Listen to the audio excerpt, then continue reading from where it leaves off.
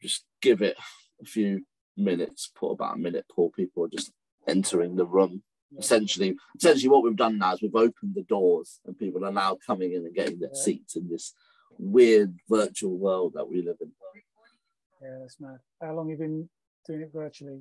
So we started um, sort of when the pandemic hit. So what March we went into lockdown, and then, so we used to do face-to-face events every kind of couple of months, and then we switched to Zoom around sort of May, April, May um, of the pandemic year, 2020, isn't it? Um, and actually, what we found is it's actually quite enjoyable because people that can't make it to London, like last week, you know, have their own way of engaging and, and, and can still be part of How often? Uh, every two months we try and do. We try and do every two months. Um, where we get guests, a couple of your mates, a couple of your ex pros have been on, Dicko's okay. been on, Smudge has been on. Oh, okay. Um, yeah. yeah. Yeah, they're good fun. Yeah, no, no, it's good. It's good. It's good fun. Right. Just gonna give it 30 seconds. I can see the numbers going up. Welcome to everyone. Welcome to all our members list, joining live and those of you who will be listening to the recording um, at a later date or the podcast. So let's just give it 20 seconds and then we'll, we'll mm-hmm. start. Hmm. Bet you've done a few of these, Paul, now on Zoom. Yeah, yeah, it's, uh, it has been quite quite interesting doing this, and it's, it's been enjoyable because you know it's talking about yourself really essentially, yeah. and, and yeah. listening to the fans. Uh, stories is always always find that interesting as well. So yeah, it's it's it's been enjoyable, and I'm looking forward to looking forward to this one. Good stuff. Right, okay. I think we're going to kick off. So Hello, everyone, and welcome to another virtual event or a podcast, depending on how you're listening to this. You might be here live in the virtual audience, or you might be listening at a later date. But whatever you're doing, we welcome you. So we've got Arsenal legend Paul Davis here, um, who has been busy in the last week or two. I think it's safe to say. Um, we had him last week at the Tollington, where we had hundreds of fans buying their books, having a chat with Paul. I think Paul, you were signing for about seven, eight hours in the end, wasn't it? Yeah, it was. Thanks, thanks for having me on, and it's a pleasure to be here and able to talk to everybody. And uh, yeah, just it's just a pleasure to be able to spend some time with with fans. And uh, last week was one of those strange uh, occasions, which not strange, but I didn't quite know what we were going to get in terms of uh, numbers and um, and, uh, and how long it was going to last. And like you said, there it went on yeah, for literally seven hours, and I didn't really feel it at the time.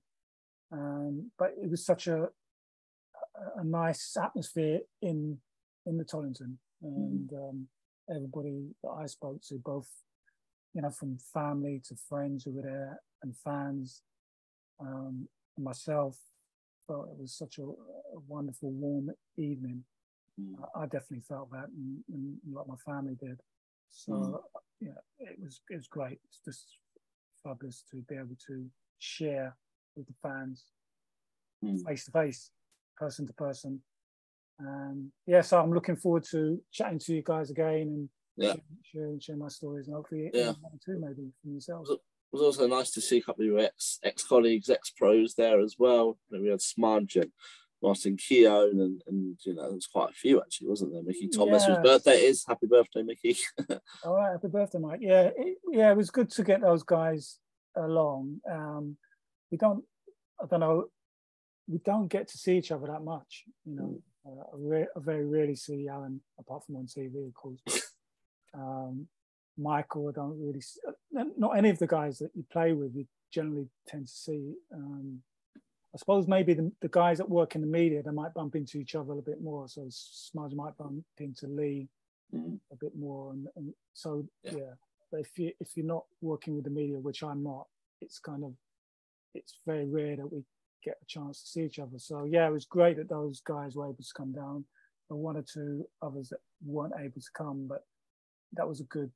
Um, so I had people that weren't there. I, um, as you mentioned, uh, Martin Keown and uh, um, who, who, I haven't seen for a long time. But Martin and I room together, so like uh, kind of we know each other quite yeah. really quite close. Alan, Alan Smith, as you said, came down.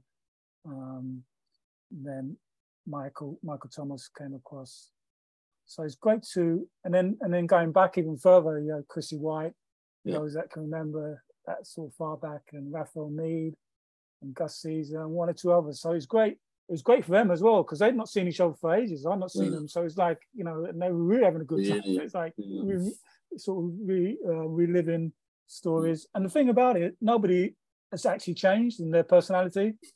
You know, so that you know, the talkative ones are still the talkative ones, the quieter ones are still the quieter ones. So it's it, it's really interesting when you haven't seen people, um, colleagues for a long mm. time, but then get back together. How how everybody just fits in like they were before. So we'll, we'll spend the next sort of 55 minutes or so kind of talking about the book, reliving some of your moments from your career.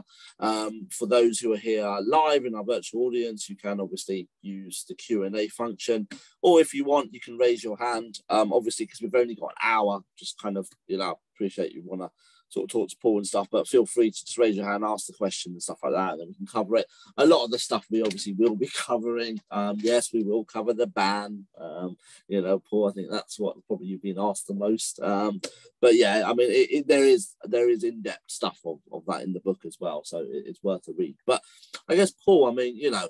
After such a what 15 year career at Arsenal, 400 was it 47 appearances, 37 goals why now for the book? You know, why not a few years ago? Why not wait a few more years? Why now? Yeah, so there's several reasons why now. Um, what one of the main reasons is fans. Fans have come up to me ever since I'd stopped playing and asked me about. Actually, people have asked me why why have I not done a book? Where's your book? When's it coming out? So, you know, that, that's definitely one of the one of the main reasons and people have asked me questions over the years and continue to ask me questions about my career, my thoughts on certain subjects within the game, so issues within the game, my thoughts on on, on how the game's going, particular, particularly in the area of coaching uh, and developing coaches, which is what I'm into right now in terms of my, my work, but also my my thoughts on how the game has changed, um, and just my experiences within the game, and and also you know my I've got two young men now. They're not boys; they're young men who never saw me play, and um, their their recollections or stories are coming from watching YouTube or listening to somebody else's dad telling them about how I used to play or what I used to do. Um, so a part of it was that is that I wanted my my sons to really get have something that they can read, sit down and read, and and, and really find out what it was like to be a footballer and a black footballer as well. I really want to kind of share that with people because you know there is a story to tell there, and I really want people to would like people to, to, to, to delve into that and find out, you know, so, okay, so that's what, that's what happened there, or that's what Paul had to go for. Um, yeah, and, and I, I wanted, and we wanted to, I mean, I, I, wrote, I wrote, we wrote the book with Tom, Tom Watt, who, well known, quite, quite a few, yeah, he's written quite a few books, big Arsenal fan, known Tom for a long time. And it was right. It's the right time. You know, I've, I've got to a stage in life where I can really just sit back and reflect a lot on what's happened. Um, maybe I've one or two answers about why why things happen, and I feel that you know I want to share stuff with people that are interested to to learn about how difficult or how good life can be in football. So there's you know there's some great moments in the book, and I write all that I'm talking about is detailed in the book. It's really detailed stuff, and I, I just wanted people to hear and feel how I felt in those moments in those different areas of my career. Um, so yeah, I've got. Was it hard back, to look, look, back on, and I feel that there's a lot there that people can can would enjoy and learn from. was it hard to remember all those memories? And what was Tom Watt's kind of role in this a little bit? Was Yeah, it kind of Tom- trigger? Yeah, Tom. So we sat down. This was last year, um, and we kind of just worked out how we were going to do it. So we we sat down probably once a week or once a fortnight. Um, we jigged it around a bit, and um, I, it would just yeah. Tom had a list of questions that he'd formulated, and um, sort of from the start of my career going right through to where I am now, and we just went through each stage um, week by week. And then once we had it all down, or Tom had sort of gone back and written it all up and listened because he, he recorded a lot of it as well. Mm. Um, he started writing and he started writing it all up.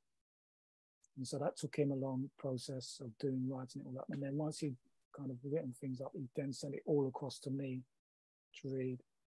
And um, so that's where it became a little bit difficult because like I started reading through it and then started changing things because I wanted it to be my voice and my words and, and, and largely obviously it's my story so I want I want things I wanted it to sound like me so yeah read it read it through made made the changes adjustments sent it back to Tom.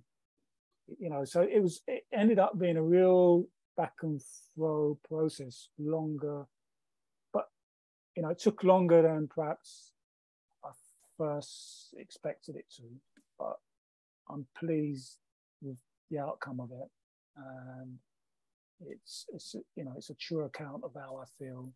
Yeah all the words my you know it's my words. Um and i've been as honest as i can Mm. uh, there'd be points in the book that people will be surprised about. I know that. Um, Mm. Shocked about, um, interested about. Um, but it is my true versions of events, different events. Um, so yeah, it's it's it's uh, it's been an interesting process making it, and um, Mm. yeah, on the large part, it's, largely it's been enjoyable. I've found, you know, we've I've got loads of clippings that I've had over the years. I've, yeah, my mum Well, like a lot newspaper clippings or newspaper clippings. Yeah, so Tom Tom's memory for games is like like most fans, fantastic. you know, like like you guys, uh, and I've said this before. You guys like remembering games and stuff. It's just unbelievable, unbelievable. I mean, yeah, it, people tell me about my career, and I I, I don't remember that detail. Well, I don't, argue, I don't argue. I don't argue with them anymore. If they say that I scored a goal and- and that day, I'll say, okay, fine. I, I'm not going to argue with you anymore. But there are parts that I do remember. Yeah. that, Um, are really, I think, really interesting. So the book is a mixture of, um, you know, the footballing side, which has been a lot. and We've been successful. So there's a lot of that.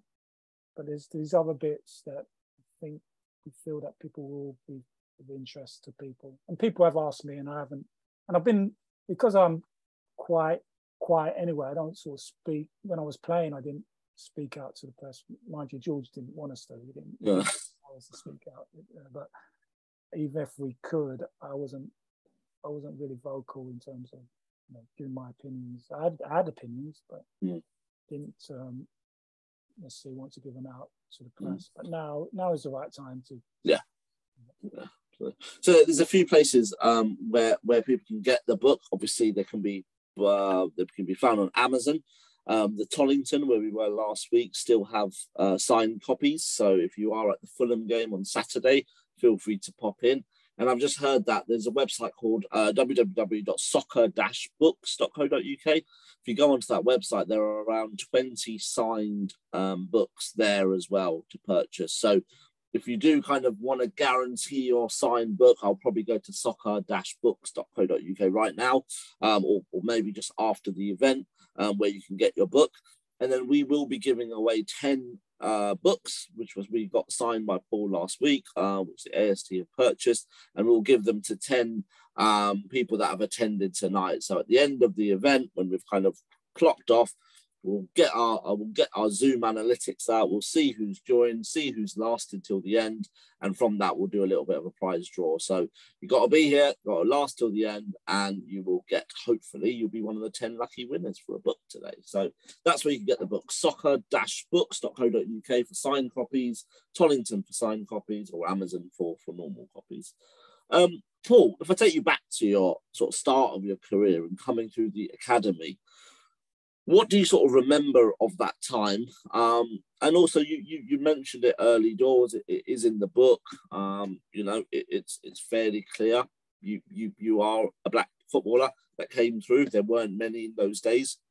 I know Brendan Batson played a few times for Arsenal, but you were the first real regular. What was it like coming through the academy? You know, thinking I am a little bit different here, but I'm going to give it a go. Yeah, I, I wanted um, that side of my story to come out, and so that people understood the difference that was around then.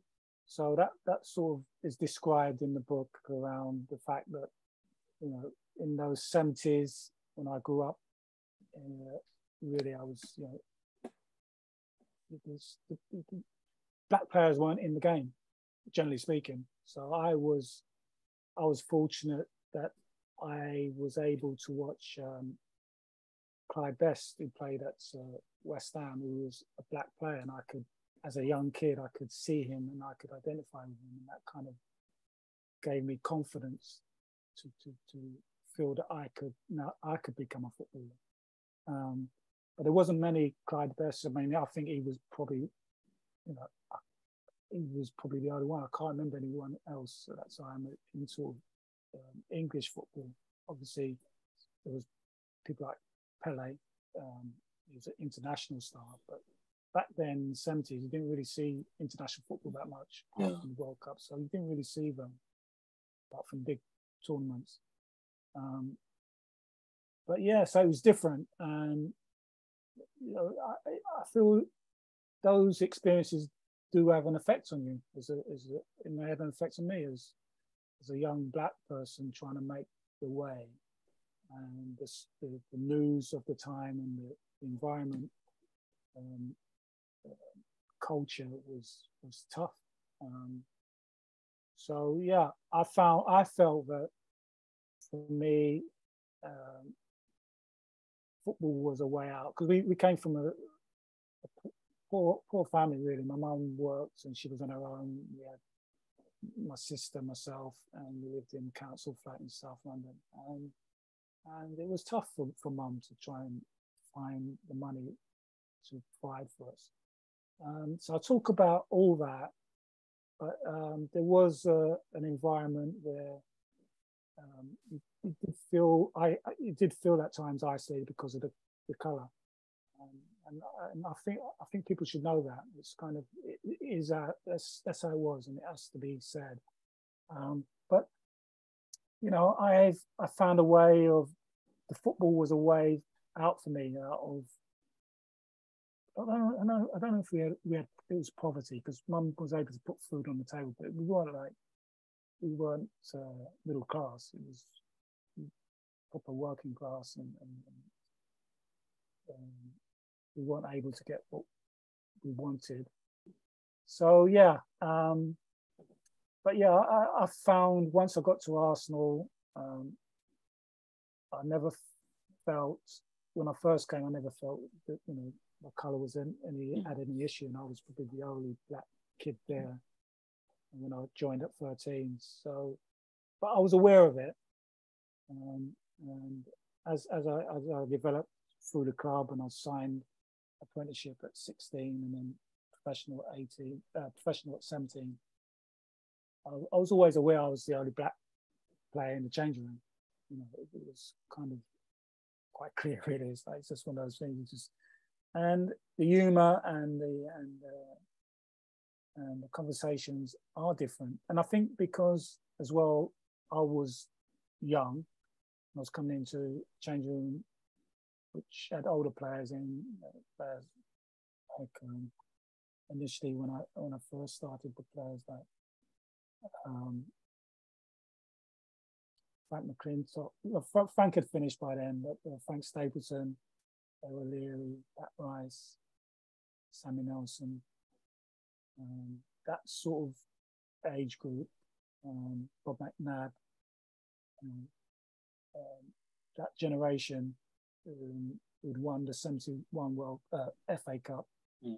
Um, and of course, they we they come from complete different backgrounds to me, so the conversation didn't really fit in with my sort of understanding. So it was it was um, it was strange, uh, but I kind of just got my head down. Um, was determined to to to be a footballer. Um, wasn't going to let anything kind of uh, deter me from that either on the field or off the field. That was like a sort of clear mindset I had. Um, and you know, by and large, it was a pretty good, um, enjoyable time.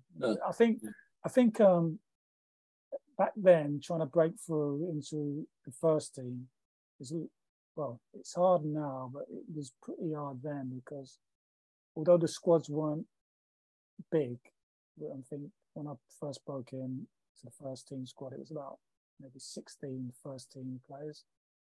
Um, so it wasn't like it is now, like yeah. 25, 30 players trying to get into to the team. Back then it was like 16 you know, first team red sort of squad players trying to get in. So, but those 16 was always part of the team or the squad. So the, the 11 that played very rarely changed unless there was a real bad injury. Yeah. So although it was smaller, the squad, it was still difficult to get into. So, you know, to, to get into the squad at 17, I did really, really quite well looking back.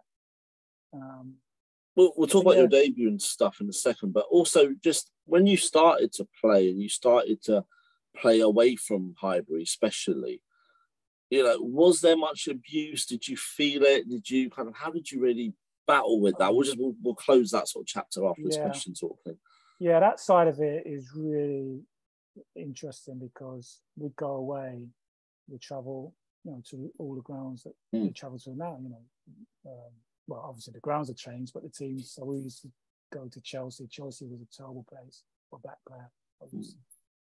Mm. Um, Sunderland, Newcastle, anywhere north was really terrible for me. I'd often be the only black player on the pitch for either team and obviously you're in front of their fans. Mm.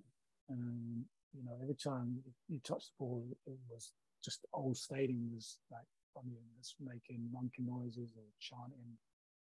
Um, yeah, it's like it's completely reversed now. You wouldn't get that now, but back then, it, it, every other week it'd be 30, 40,000 people on you. Um, so you've got to really have a, a really develop a strong mindset to kind of try and block all that out and perform. And I think, you know, by and large, I managed to do that. Um, but, and I think you, you learn to block things out, I think. Um, and you have to, because otherwise, if, if you're listening into all that negativity on, on you, I'm the only one on that pitch and they're abusing me verbally um, got to find a way of dealing with it and, and carrying on. Because um, back then you couldn't like go go and speak to the manager or anybody and say, look, you know, this is this is not on. It was it was it wasn't against the law and back then anyway. It's like you know people could. It was just accepted. It was just accepted behaviour. So, but you know, it isn't right, and I didn't feel it was right.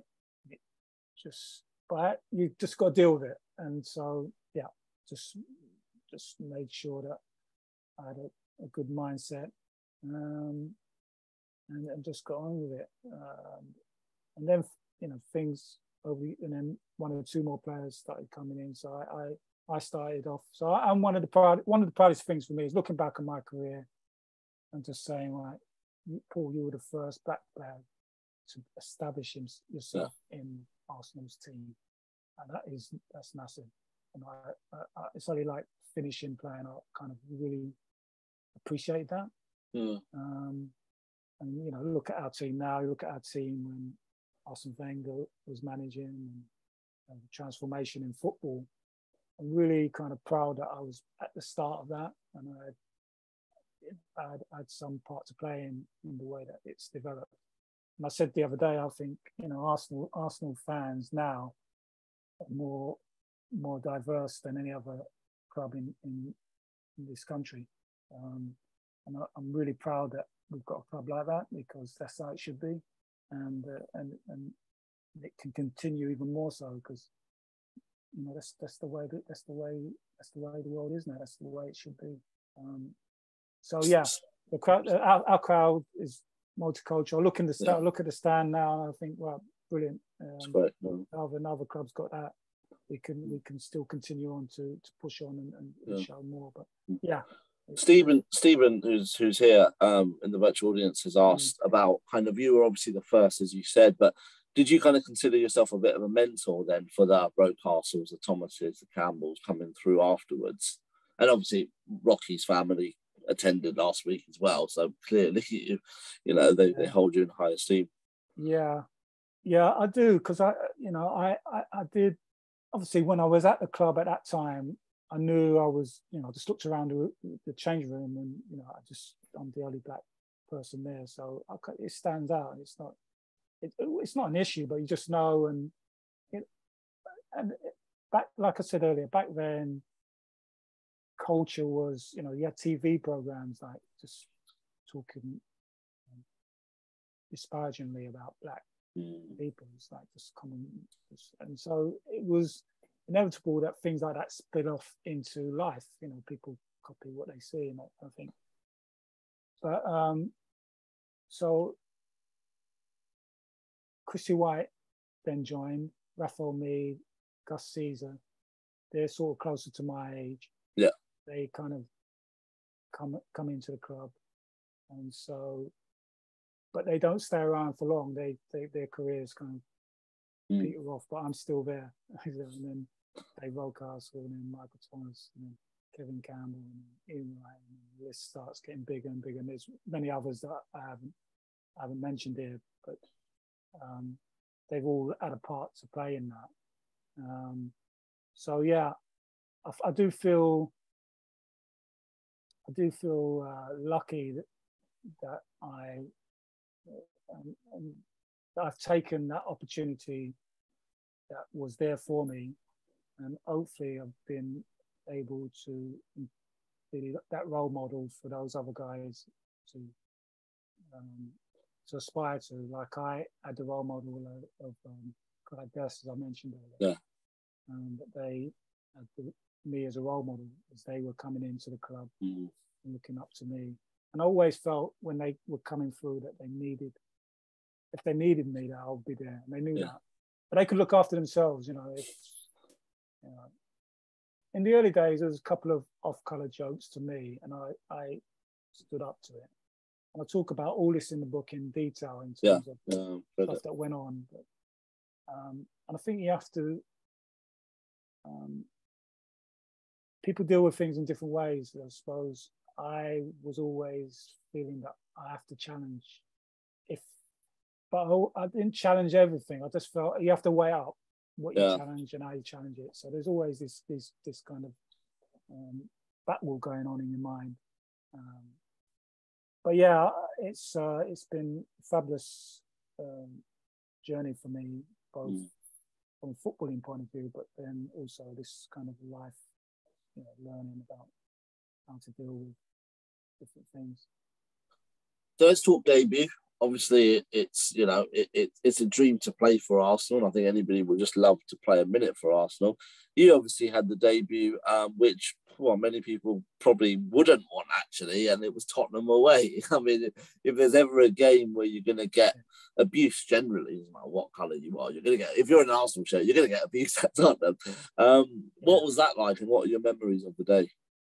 Yeah, I've got some vivid memories of, of that. Actually, um, you know, getting picked to play, getting you know the name read out by the manager then was Terry Neill. Um, he, he he wanted to rest some of his key players um, for the coming weeks because we had some important games in the FA Cup and Cup Winners' Cup. and he wanted to rest people like Liam Brady and, and Frank Stapleton, who were key players at that time, and, and just bring in some fresh fresh players. And I was one of those. So um, when when he named the team on the morning of the game, um, obviously you know, just del- you know delighted, um, excited, um, but ready for it. Really, I was I was I was ready for the, the opportunity. But it was what it, back in those days, no mobile phones. Between like 79, 1979. Um, I wasn't able to contact my mum. He was in Stock, was in South London. So none of my family actually came to the game I only, I only knew the morning of the game, or yeah, late morning. I knew kickoff was at three o'clock. I don't. This is another thing. My, my, my family over the years when I was playing didn't feel comfortable going to grounds because that sort of that sort of situation. Know, um, as back families, it was uh, nervy where you went. Um, so that was another thing. You know, throughout my career, I always was wary of family, mum, sister, going to grounds because it was depending on where you played. Obviously, Arsenal that was comfortable because it's home, and I didn't yeah. think there was danger there, definitely. But then any anywhere else, particularly north, it was it, it would be like a risky thing to do. So they never went. Mm. Um, yeah, I, I um, yeah, it was it was it was um it was tough, but I think because I was so single-minded, pushed a lot of any sort of distractions out of my mind. I learned very quickly that to be successful, you have to have an ability to just block things out, just push them to the side, things that are not going to help you to get there. And I say that I say this to a lot of young young players who, I you know, work with or come across, and they ask, um, you know, how do you become a professional footballer? So, got to have ability for sure. Yeah, sure that helps. it does help. Yeah, the mind side of it is such a big, big side of it. Um, how do you get over the dis- disappointments? How do you get over injuries? How do you get over somebody criticizing you? Um, how do you get over um, bad performances? Um, how do you get yourself back quickly into that positive mindset? And there's you know thousands of people, millions of people watching you. And I try to kind of get all this into the book because I feel that I didn't just want it just to be about the football inside because yeah, that's yeah. great, all the winning, trophies, and how we did it, and that's all explained. I want that. I want people to get how, how we felt about it, how I felt about it, and how we did it, how we actually won trophies, how we got that team together, how George pulled us together, and how we pulled ourselves together to win win stuff. I want people to hear about that Mm. I also want them to find out those other sides. So how how how did how did you do that? Mm. Why did that happen? How how was your response to that? And it's kind of mm. that's where that's really what I hope the book people get from the book is those mm. kind of details um, throughout my career.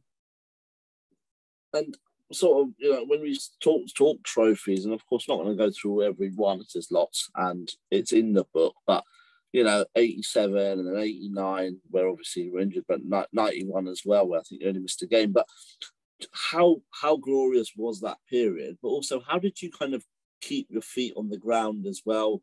Would it have been easy just, uh, you know, I've made it now, I'm a superstar and, and stuff like that? But how did you kind of keep it going, you know, and keep that longevity because you were here for so long. Yeah. So uh, the, the winning the winning side. So we we won in '87, George's first year, mm. and then once once you get that first win, and you know you can do it as a group and individually, you know you're, you're capable of doing it because you've done it. Then it then then you know it feels like that is the thing, and so then now you can go on. And we did we did do we, we went on and won won I won six six um, trophies with Arsenal. Um, and you build it, you build a togetherness, a team spirit. Um, organization. Um, and there's a bond there between you. Um, that, that, I don't know, you have to be a really good manager to bring it together and then to keep it going. And I think it's good management that keeps it going because depending on the players, it can it, can get to your head. Um, yeah, and the manager and the and the staff are the ones that, and particularly if you're young, young players, you know, it can get to you. I hmm. think mm. having good senior players around and good management um, around helps to kind of keep, like you say, asked about keeping your feet on the ground. I think personally, I've always, always kind of tried. I've just naturally keep a level playing field anyway, not from a personal level. I don't, I, don't feel as though I get too overstated. Yeah. On the wings, um, I try not to get too disappointed on the defeats, but you do. You go, you dip. You know, if you, if you lose, you get you are disappointed. There's no, you know, you just got just got to deal with it, and then go forward again as quickly as possible. Uh, same as you know, you win, you enjoy the win, but then you've got to come back to go for the next game. Mm-hmm. I think it's that kind of this mindset, get into that mindset of not too high, not too low, but enjoy the wins and accept the disappointments that come back again. It's kind of trying to get, get that in your head. Um, so yeah, I think that's how that's the best way. And I, I, kind of talk about that again in the book, the detail of it and how we did it at Arsenal with, with the players that we had and how George got us together um, and, and, and, how he turned us into a winning team and, and how the fans, how we connected with, I talk about how, how we connected with the fans back then. You know, often we knew a lot of, a lot of the fans by name.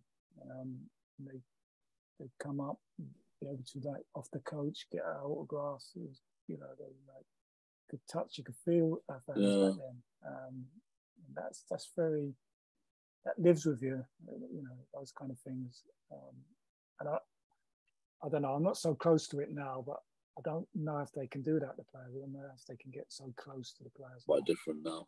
Mm. Yeah. Um, so yeah, we had we had some great moments with sort of getting to know fans um, quite well. Yeah. And that bond, I think there was a bond between us. Um, so in amongst all the successes and trophies and great games, there was obviously an, an incident that people do remember, um, which led to to, to, to to, a bit of a ban. And actually, I read that I read that bit again today actually because I quite enjoyed it the first time around in the book. And, and for people who are listening who haven't quite read the book, it is there in detail. But to be fair, there have been questions about it. So what what happened? What happened with Glenn Cockerill that day, and, and what you know? Uh, most things most people have said is what did he say to to make you kind of do what you did?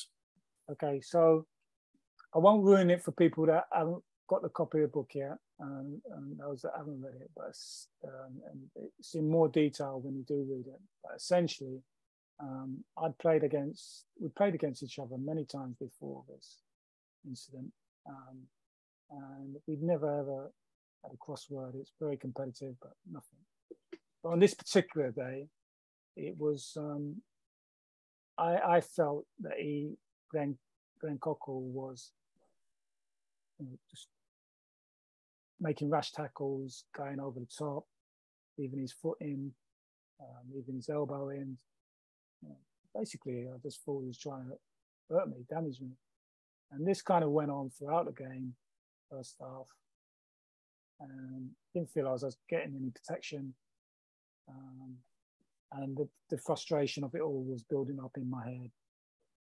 And totally out of character. Second half, I it's something that I to this day regret. I, I hit him um, while the play was the ball was somewhere else. I hit him and he went down. Um, from that moment, my my life changed because it was on the news. The, the actual incident was on news at ten. Um, it was everywhere in the newspaper, front page, back page, um, on the radio, and it was all negative. This mm. guy, he's got to get banned.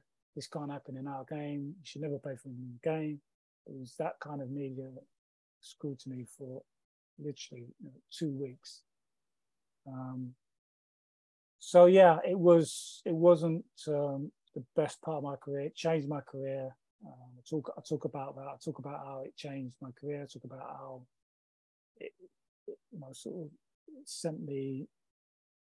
I don't know if I was in depression. I don't know what it was, but looking back on it, I wasn't in a great place for a long time with that. Um, um, yeah, I'll talk about how how it affected me uh, uh, and, and, and how the club helped me, and we talk about um, ban itself when the FA did ban me for that because it was it was um, at the time nothing like that had ever happened. You know, somebody, a player, because um, they call it trial by TV. So it was the referee didn't see it, linesman didn't see it, and if, if perhaps they had seen the incident, they would have sent me off, and that would have been it. It was mm. so the fact that they didn't see it, um, and then it was caught on a, on a, on a news. It was a news TV crew that were filming the game, and it was just caught at the bottom of the, the screen while they were talking about the game, and then it just went mad. Was, you know, I, have um, I hadn't experienced anything before or after in my career that was quite so traumatic in terms of um, you know, the attention that it got. Um, it was in the House of Commons. They were talking about it. It was, like, it was crazy. Um, but yeah, that was that was something that, um, like I say, I it goes into detail in the book, but it's it was something that a lot of people have asked me about. because um, it's not my personality. Why did you yeah. stop it? It's not you. It's you, you know, but yeah, it was it was a build up of frustration and, and snapped. So I wouldn't recommend retaliating. It's not the way, not in that way anyway. Zach, I'm keen to get some member questions in. Um, I can see there's a few there. I'll give you sort of two or three, maybe pick the, pick the best ones. Some of them we've maybe covered. Absolutely, and we've answered quite a few. I think there's two maybe pairs of questions, so we'll do them in pairs perhaps. The first one specifically about trophies. Mark said he remembers his first trophy was the Littlewoods Cup final winner for Liverpool. What are your memories of that day? And then related to that, Neil has asked about your memories of Copenhagen 94. And then you touched on it before about the fans, but you said, how much when you cross the line do you feed off the energy of the fans or will you very much shut it out, play the game? Yeah. Yeah. Um, those those two finals, the the uh, Littlewoods and the uh, Copenhagen.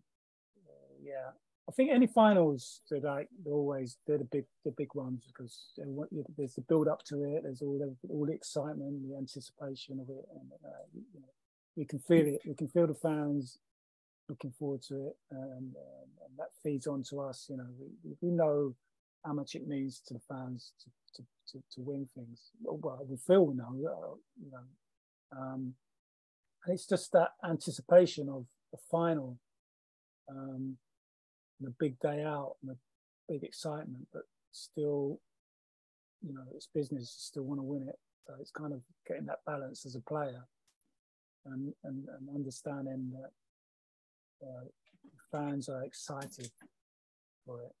And, and, and you're excited for uh, the fans are excited for every game. You want to win as much. Know, we want to win every game, but finals are finals. Like this is it. Um, so those two games, particularly 87, Littlewoods Cup was massive for us because it, like I said earlier, it's a, the chance for all of us at that stage to win our first trophy. Um, it's against Liverpool, big team. Um, lovely day out, Wembley fans we're driving in, see all the fans on the coach. Um, I sat on the coach and a nice day, sunny day. I remember that. And yeah, to win it, first trophy. I talk about I talk about how the planning of it, the, the um, preparation, how we how we go about it in the book, and then the celebrations afterwards. Talk about it. Copenhagen again for the same similar sort of reason. I mean, that's, but this time we're traveling away. Um, a be honest, I talk about it. It's the team that we had, we had to put out that day wasn't. We all knew wasn't the strongest because of the injuries and suspension. Key players missing, and um, they for the first 15, 20 minutes of that game, Parma, right, they were like just all over us, running.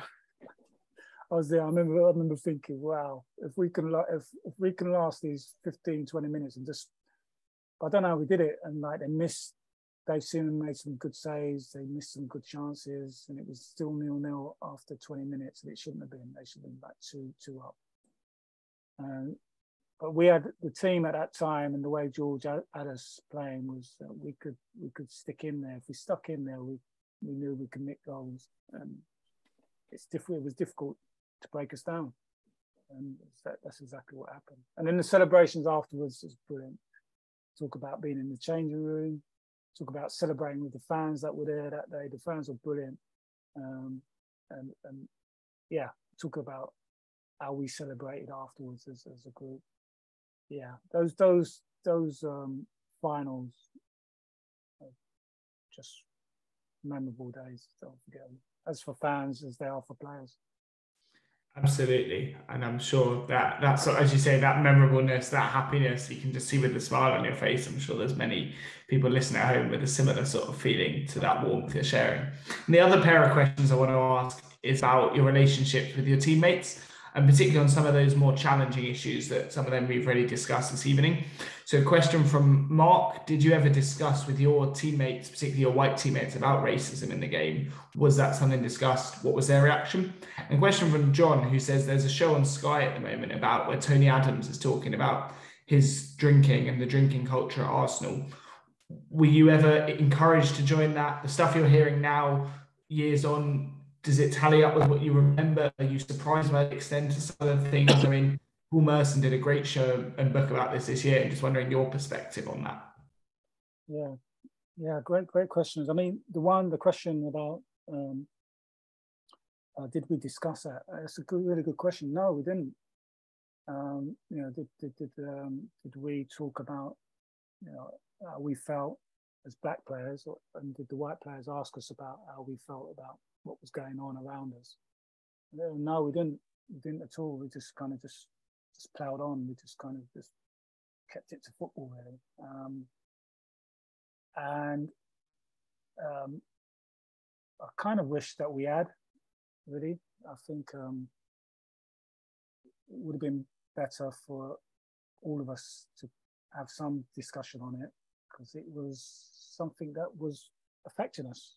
It was affecting me I know there were black players. I don't know how how it affected the white players, if they were affected at all. But I think um, it would be it would have been nice to have had some questions. How do you feel about that? What you know, is there anything we can do? You know, just kind of something. But but then you know, when I first started, it was just part of life, so people wouldn't it's just it was kind of just taken for granted. Like be abused walking down the street, perhaps, or you know, it's just it's just people didn't really care about it too much. But as as we've kind of gone on, people see. Um, I think having conversations and talking about that part of life is is is really important. And I know it's difficult at times for people to talk about these things, but they do affect people's lives. And if we can find a way of just just uh, talking about it, not necessarily trying to convince people, but just saying like, this is this is what's happened, this is how I feel. Um, I think yeah, I think we. It's a great question. I've never I've never had that with a teammate, which is um, sad. Really, I think I think we should have been in that place where we, we could have we should have had those kind of discussions. I don't, I don't know if it happens now even. I don't know if um, players do go and talk about it. It's kind of such a tough.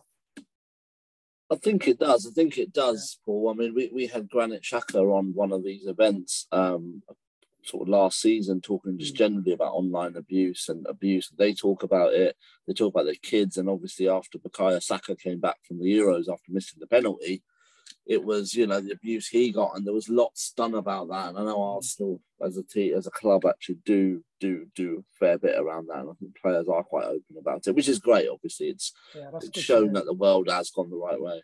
Yeah, yeah. Hmm. And the other question was um, the drinking. So, yeah, I, I'm I'm not a big drinker. I've never been a big drinker, but yeah, we did have some guys that like to drink. again, it was a culture of football they weren't the only ones. Uh, the club, the, the, you know, um, other clubs, other players did it. It was just that was kind of the normal thing to do. You you go out as a group on a Friday, uh, Tuesday. Tuesday. Tuesday, Tuesday club they called it, and um, and you were under pressure to go really, more so for team spirit. If you all, if we, if a night, if a night was planned out, you were all expected to go, even if you weren't a drinker. And we all went. I went. I'd go. We would all go. And uh, yeah, but I would not stay when it got too late or it got a little bit messy. I kind of got ducked away because that wasn't. I didn't really enjoy that part of it. Yeah. So yeah, um, there was there was um, a drink. I don't know if it's culture, but it was there was football you know, every club had, had drinkers. Um, and then what would happen was we'd have Wednesday off, off of training, and then coming on the Thursday, nobody would be suffering a little bit because of it. The manager would know that people would have been out or had a drink and would want them to kind of sweat it all out and make sure it's out of the mm. system. Mm. So Thursday would be a hard day just to get this this out system. all this uh, alcohol out the system ready for Saturday. But yeah, I, I, wasn't I wasn't really part of the drinking side, but I, I did go. We did go out. We had nights out, and um, um, the guys had a good time. It was good. It was good bonding. That's what, one more, one more, and then we'll just one, one more, more question. In fact, I'm going to link two together because again they go well so well together. Reflecting on your career, um, Stephen says, obviously now we don't talk about midfielders, we have sixes and eights and box to box. How would you describe your position now? And linked to that, Nicholas said when he watched you, he would compare you to Iniesta or Xavi of today, um, and said you've got like that real technical ability. Obviously, you played abroad very briefly at different points, but he says, did you ever consider going abroad? Would your style of football have suited that? Yeah. So I, I would consider myself as um, as a number eight in today's money. So I'd like to be more attacking. Uh, number four is a more defensive type type player, um, and I because I, I I was I was a striker when I was a kid, and I scored loads of goals. I was like number nine, love scoring goals, and yeah, as I, when I joined Arsenal, they kind of slowly got me back into midfield, but I was always attacking minded. I always felt, saw myself as attacking, so I would see myself as number. But I could I could defend as as well, and I could tackle. You know, I learned that side of the game. Uh, but my natural instincts is number eight, passing and, and getting forward and creating. That's how I saw myself. Um, I think under George, I played a lot. Although my number was eight, I did sort of play as number four, really, just more conservative holding role. Um, so,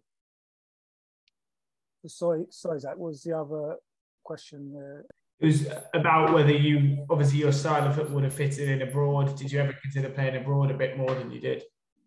Yeah, there was one. There was a, a period where there there was some interest from um, Paris Saint Germain, and uh, sounded as though it was a strong interest, but nothing came of it in the end. And I didn't, in my prime, I didn't didn't didn't want to go anywhere else really. I didn't I didn't feel that. And why would I want to leave Arsenal other than I talk about this in time when I had a big fallout with George and I had, there was a lot of um, um, you know, difficult time, and, and, and I wasn't allowed to leave in the end, but I would have done if if if, if, if I had been allowed. Um, but my style, I do feel that my style is was a sort of um, European style of game. I wasn't naturally um, sort of getting into tackles, although in the end I could look after myself in tackles. I could, I could do that side of, of, of being a footballer. But my, my natural game was trying to get the team ticking along, uh, receive passes, um, create chances for, for forward players, Wrighty and, and Alan Smith and, and the players that I played with um, even before that, you know, um, Charlie Nicholas and, Frank Stapleton and, and, so many that I've played with, um, trying to find opportunities for them to score was one of my kind of attributes really. So that's that's how I saw my game. There's that. Perfect. Um, I'm just gonna sort of we've only got a few minutes. I know there are questions that have been asked, but I promise you, if you read the book or if you're about to read the book, you'll probably get many of your answers in in or in the book, and, and Paul has gone into great depth. But just want to sort of end with your post career, Paul, because and it will be joked about it last week, and I think Tom joked about it, saying that he had to ask you, sorry, like Paul, what do you do now? You're doing so much outside, like in the game, but maybe it's not because it's not in the media, it's not in yeah. the forefront. But I mean, what what what have you been up to since you retired? Yeah. What are you doing right now? Yeah, so I've I've stayed in the game. I didn't go into management and coaching, the, um, and that is explained in the book. You know why why that why that happened. Um, I think people will find that, that that interesting. But I I've I stayed in. So when I left Arsenal as a coach, I went over and joined up with the Professional Football Association and did a lot of work with them around coaching, um, around developing black coaches and getting black coaches involved in the game, um, and did a lot of work around that, um, coaching, coaching lots of players on their qualifications. So coached players that wanted to do their qualifications, we would do, would help them do that. And then I left there when I joined the Football Association, which is where I'm at now.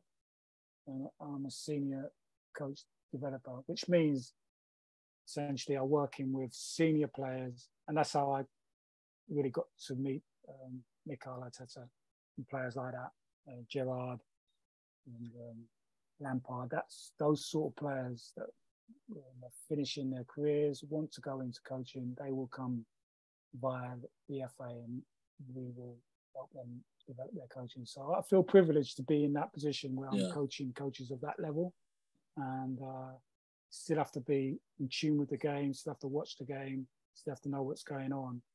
Um, but it's kind of a little bit of a back back seat, you're not up yeah. there. So people hence why people always ask, so Paul, what are you doing now? So that's like people don't know. So that yeah. again, I in the book it kind of explains the detail of it all mm. and, and, and uh, some good examples of people that I've worked with. Mm. So yeah, still involved in the game, still go to watch Arsenal, still got still got a great affection for the club and the supporters. So hopefully, um, people read it and do take a lot from it because mm. a lot of work's gone into it, and I, I, I didn't, and I wanted to wait until this period yeah. so that I can think and reflect and give a true reflection of mm. what's happened to me and and, and uh, share that with people because I think yeah. people do want to find out just that little yeah. bit more than just Absolutely. the game, the game itself, and hopefully it, it provides that. And just finally, you, you touched on Mikel Arteta. He's obviously you were lucky enough to have him involved a little bit. Um, what are your kind of views on the current team? And you know, I know you were telling me last week that you've still got your two season tickets, and you tend to try and get to seven, eight games a season when you can with work. But views on the current team and the start of the season? It's yeah, been all right, hasn't it? it's been been good. Yeah, like all the fans have been coming up to me, and I've been listening to the uh, to the chants in the stadium and the atmosphere. Yeah, it's great. I think I think we're in a really good place, and obviously top of the league, playing well.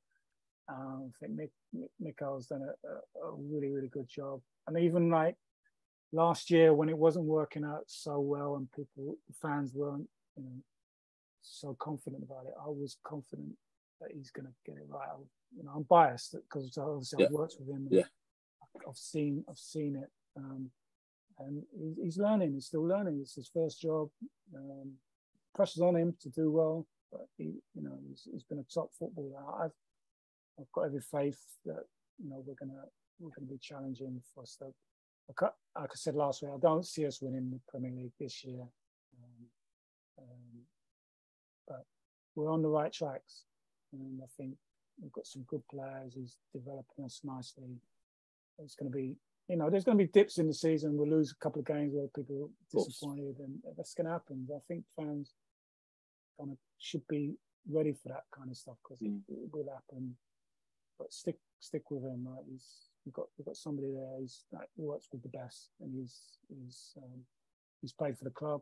Um, knows he knows the game. Uh, so yeah, I'm really excited. Like the fans are. The fans are really excited. I'm I'm, I'm a fan now. Yeah, I've got season tickets, and yeah, it's. Uh, looking forward to it. Great way to end, Paul. So just a reminder, Paul's absolutely great book, and um, I've, I've read it. I've read it from I've been busy since last week, Paul. I've been, been reading it all week. Um, you know, it's a really fascinating read, and, and as I said, we, we, me and Paul talked a bit about last week, and we talked about how we're going to do this, and we we've purposely not gone into specific memories, moments, because otherwise there's no point in reading the book. So it, a lot of what we've talked about today is in the book. Um, so, you know, I can see couple of questions that were asked around specific, you know, 89 and things like that. All in there, all in there. So remember, you can get these from Amazon. Um, we will be giving away 10 uh, a little bit later. So if you are one of the winners, we'll contact you by email just to confirm your address, and they will be, they're all signed. I've got them all under my desk, and I think Paul was signing them out about ten thirty at night at the, the Tollington, but they're all signed. And as I said, if you don't, if you want to guarantee your signed book, then head to the Tollington if you're at the game on Saturday, um, or go to soccer-books.co.uk, and they've got about twenty or so copies left, I think. So if you're quick, you'll hopefully be able to get one. But um, I'm sure there'll be other opportunities to meet Paul in the future. So even if you can't get a signed copy, get one on Amazon. I'm sure there'll be opportunities in the future. Paul, want to thank you. Thank you for last week. Thank you for this week. Um, as we've said, we've got members who you know live overseas or out of London who couldn't make it to the Tollington, but they're here now. They'll be listening to the podcast and the recordings, and I'm sure they're uh, very grateful for your time on this kind of Wednesday evening as, as we record. So, Paul, thank you very much. Oh, yeah, I'll just yeah, just thank you. Thanks for inviting me on. Uh, it's been a pleasure. I really enjoyed talking with you both now and last week, and uh, yeah, it's always great to sort of linking with the fans and the passion that you guys show towards us as players and to the club is.